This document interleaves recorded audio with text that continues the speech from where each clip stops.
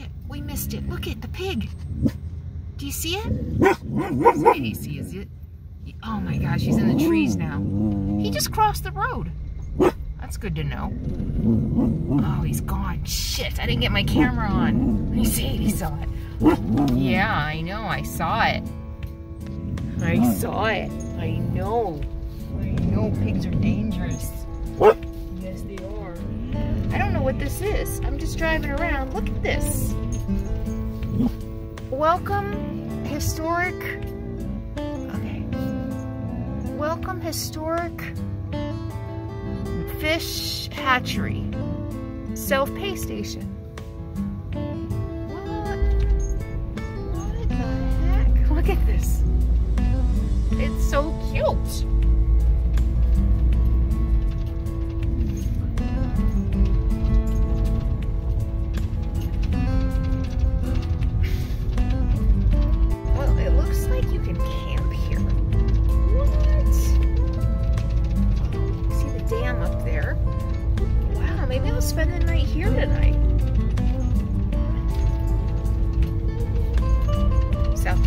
Dakota which most likely means a full timer. What? Can you camp out here, man? That. The little pulley thing to get across.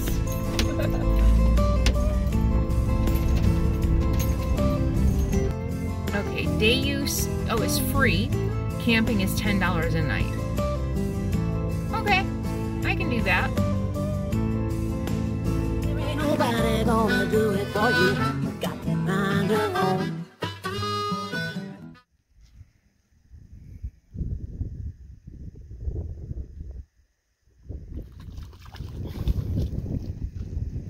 Let me see, you've been in the Rio Grande, you've been in the Mississippi, you've been in the Missouri. I think you've been in the Mississippi.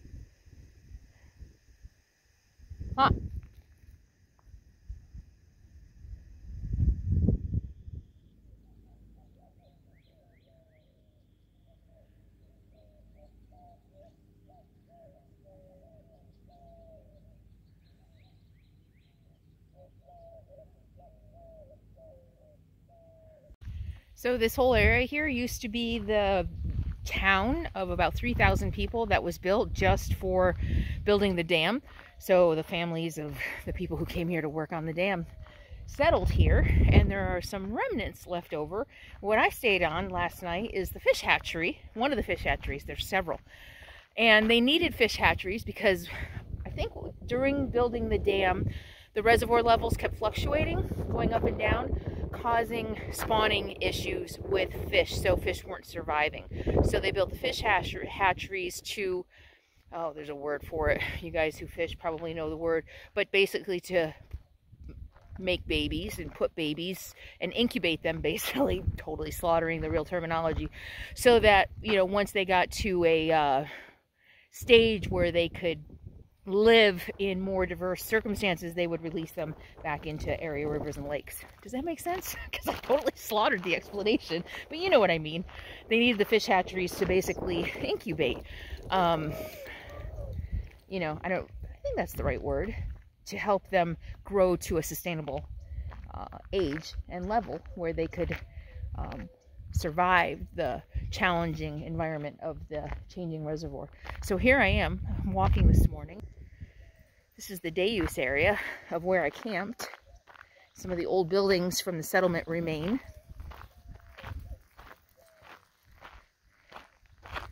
Right, yeah, this is one of the old buildings that still remains.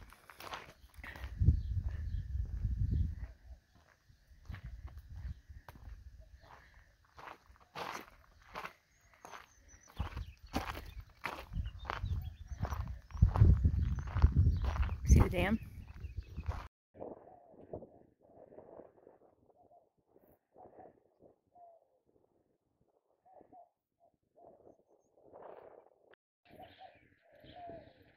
Uh, but they say some of the buildings out here, and last night I walked up by an old jail. They say some of the buildings out here date back to the to 1907. Oh, look at this. Oh yeah, fish hatchery. oh, look at this. Oh, look at this.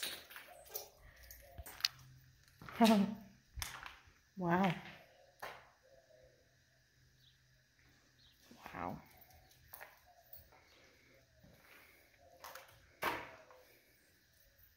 Wow, this says private property. Somebody lives here. In 1902, Congress passed the wow. Newlands Reclamation Act, which authorized the Rio Grande project to provide power and irrigation to south central New Mexico and western Texas as a Bureau of Reclamation undertaking. And construction began on Elephant Butte Dam in 1911. To accommodate the dam's construction, crews built and improved roads and constructed a Bureau of Reclamation office, water tanks, worker camps, a machine shop, a power plant, and, and, and a hospital.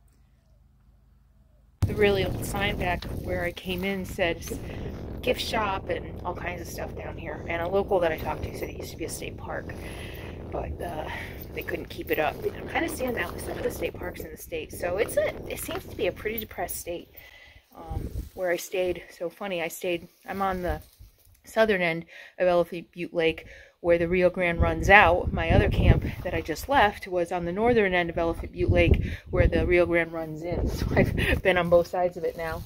And, uh, you know, I was out there, it didn't look like State Park was really maintaining it anymore. So, uh, yeah, it seems to be a theme a little bit in some of the state parks. Oh, look at, there's uh, stone walls. Oh, a few of them. Can you see them?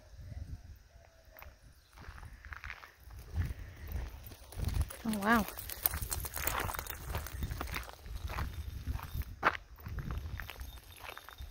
So I really like this area, Truth or Consequences. Like I said yesterday, quirky and you know, I kind of like a little bit the depressed feel. You know why I like it? Because it means development hasn't come in and changed it yet.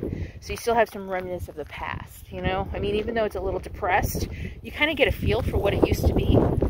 The wind is bad, I know, so I'll be quiet right now.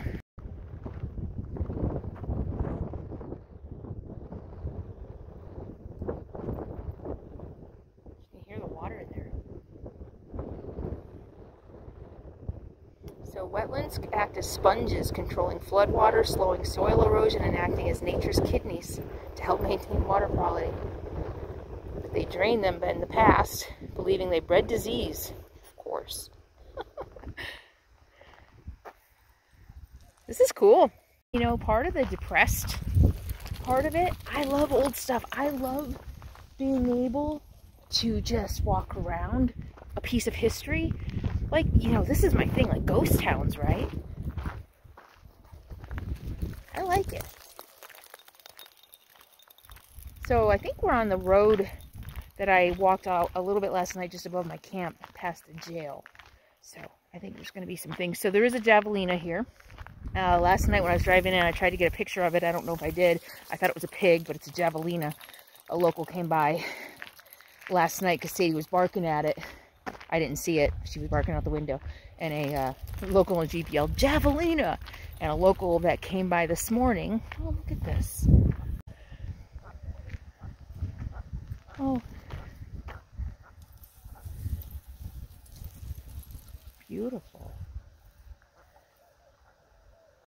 So a local came by this morning. Uh, he stopped because he needed his, he wanted his dog to run with Sadie. His dog needed the exercise, older and really big, overweight. And we talked for a long time.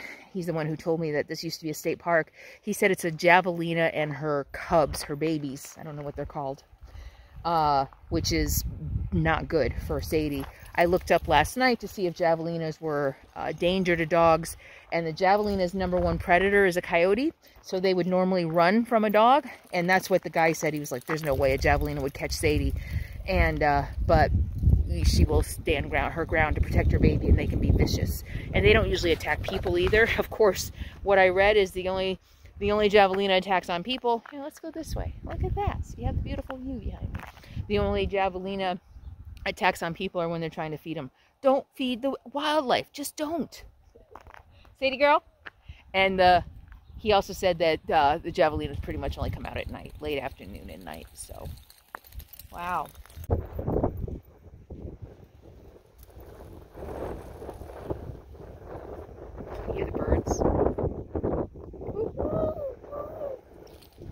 So last night when I was looking, when I was doing a little research, so this is an old fish pond. They built, yeah, this is man-made. You can see it.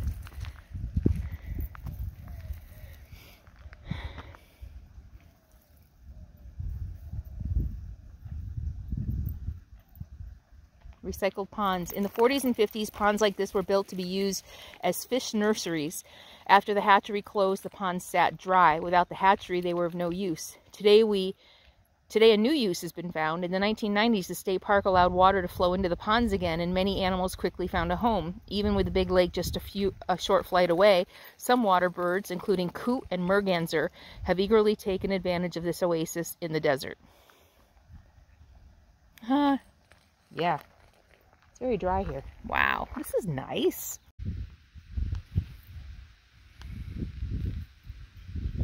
During its construction, the dam was the largest irrigation dam ever built except for the Aswan Dam in Egypt.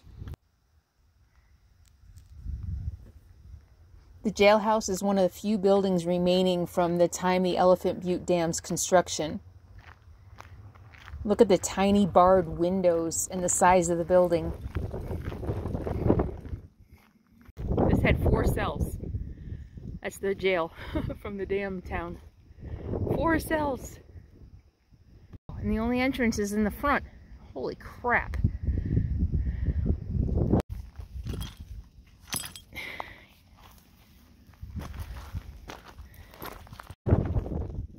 Today, all the remaining structures from the dam construction and the work of the Civilian Conservation Corps are on the National Register of Historic Places kind of a cool area to camp and wander around. Can you hear the wind? It's actually howling. Really trying to pick up the wind howling and not just the wind against the mic. Listen.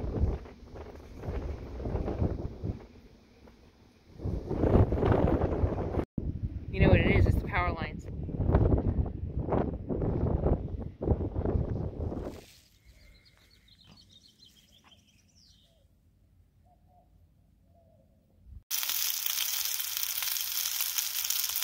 cooked cauliflower, a little bit of uh,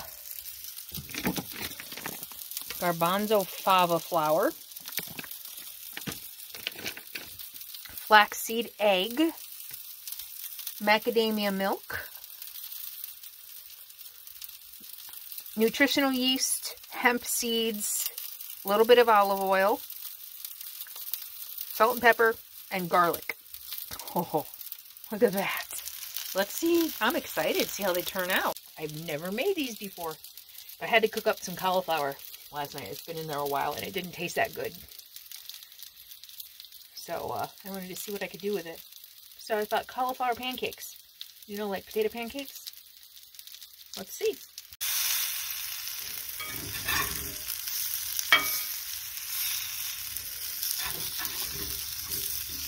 Wow, they're holding together really well. Oh, do those look good or what? Look at those. Aren't they beautiful? All right, let's see how they taste. I forgot, I also put some frozen corn in them. They are really, really, really good.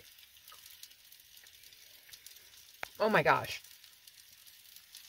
They taste like, kind of like mashed potato pancakes with corn in them, which is mashed potatoes and corn are like one of my favorite things ever. They're really good. You know what? And if I had some mayo, I might do like a chipotle lime mayo. I have a little, I think. I'm almost out. Did you know Best Foods makes a vegan? It's hard to find. Uh, yeah, it's kind of hard to find in my travels anyway. But sometimes I find it in the grocery store go, uh, like, I don't usually see it in natural grocers. It's really good. I grew up on Best Foods. But yeah, a little bit of lime juice and chipotle. I'm going to see if I can make something. It's really good, though, just the way it is, really.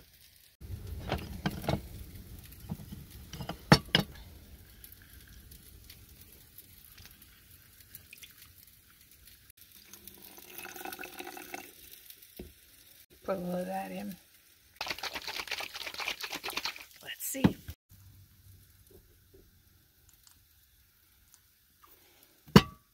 Okay, my own Chipotle lime mayo.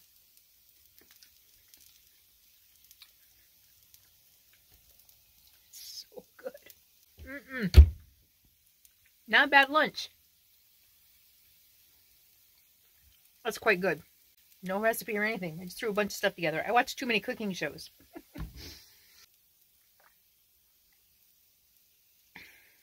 oh, this is my special tea. My hormone tea. Well, mixed with a lot of water. Because the second half of it doesn't taste very good. Okay. And what I mean is I have uh, one blend for the first two weeks of the cycle, and then the last two weeks of the cycle is a different blend. The first two weeks are really good. The second one tastes kind of grassy. So I dilute it with a lot of water.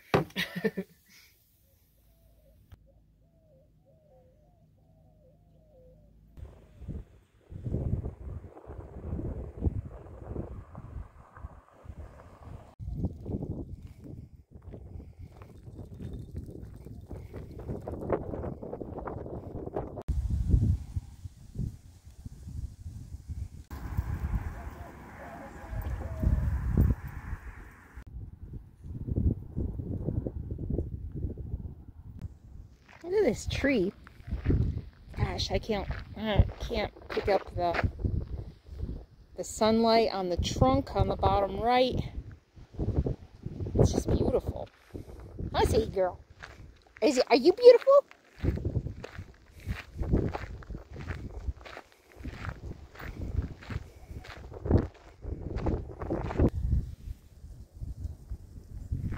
It's really cool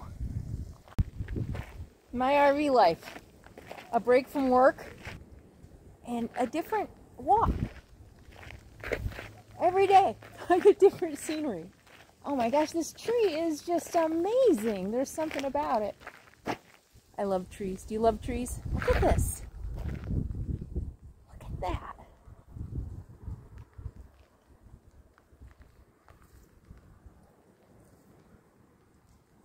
I love contrasts. You know, the contrast of the white against the sky. And it's old and gnarly. It's been through some stuff like me. Old and gnarly and been through some stuff. totally, right?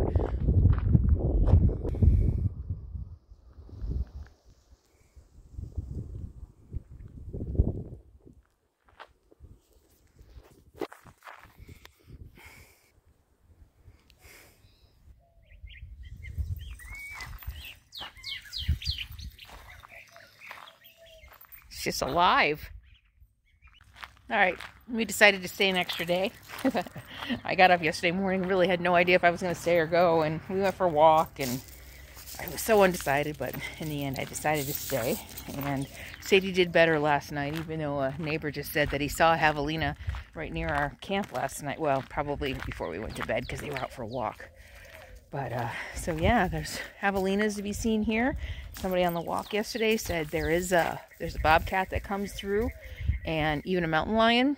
Uh, she said last year they had seen remnants, you know, kills from mountain lions, deer. So beautiful. I mean, this is beautiful. Um, it's the the fish hatchery. It's not on. I was just talking to the same guy yesterday. He said he loves it here. He comes here uh, when he's passing through. It's not on any reservation system. So you do have to pay 10 bucks a night, but it's not on any reservation system. So nobody knows about it. It's been awesome. It's just been I, four people, I think, both nights I've been here. Uh, I got a new Class A behind me this morning. And uh, the night before was a, a Class C down here. And then the two guys at the end that I've been talking to. So, yeah. Really cool. Really pretty. Beautiful morning birds and the ducks, the geese. I think I saw some geese. It's a great spot. It is close to this road that goes up to the dam. I think that goes towards Elgin, I think, but it, there's not, there's no traffic at night. I don't hear anything at night. And Sadie didn't bark all night last night. I think the first night she gets here, she might be a little more on guard.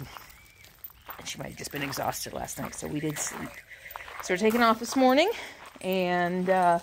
I'm going to go into Las Cruces again. Um, supply up. I want to hit the. I want to hit Sprouts, and then I'm heading up to uh, I don't know where I'm going there from there, but uh, be sure to subscribe to find out if you want to tune in for all of my adventures and learning about how to live in an RV and anything else that comes up in my life. Uh, be sure to subscribe below.